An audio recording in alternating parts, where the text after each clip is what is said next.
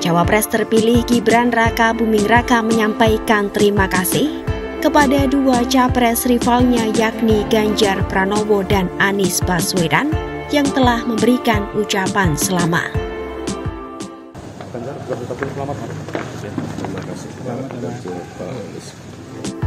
Seperti diketahui, Mahkamah Konstitusi baru saja menolak seluruh gugatan sengketa Pilpres 2024 pada Senin 22 April 2024 kemarin.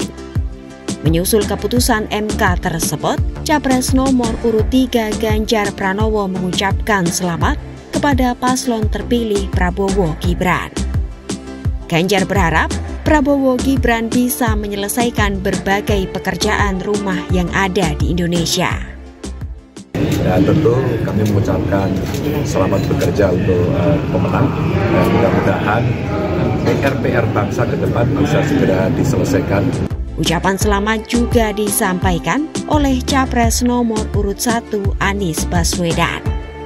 Video ucapan selamat itu disampaikan Anies bersama cawapresnya Muhaimin Iskandar melalui sebuah video yang diunggah di akun Instagram pribadinya kami sampaikan kepada Pak Prabowo dan Pak Gibran, selamat menjalankan amanat konstitusi, selamat bekerja menunaikan harapan rakyat yang kini diembankan di atas pundak bapak-bapak berdua.